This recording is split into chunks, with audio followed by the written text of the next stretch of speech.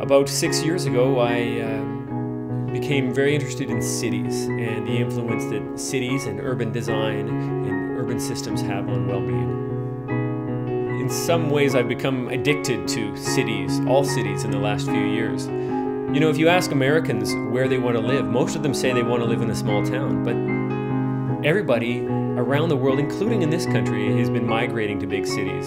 It's where we find our work, it's where we come together to be creative, and it's where we find each other.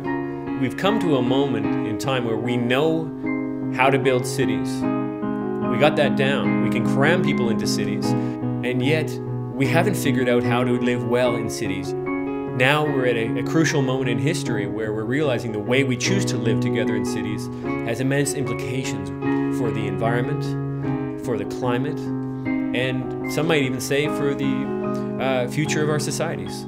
It is about more than simply feeling comfortable in the city, but finding meaning in those everyday moments, and whether that implies uh, having an experience with other people, or experiencing democracy, or feeling empowered when it comes to well being or the things that make us happy, in the end, it's other people that make us happy. We find each other in cities.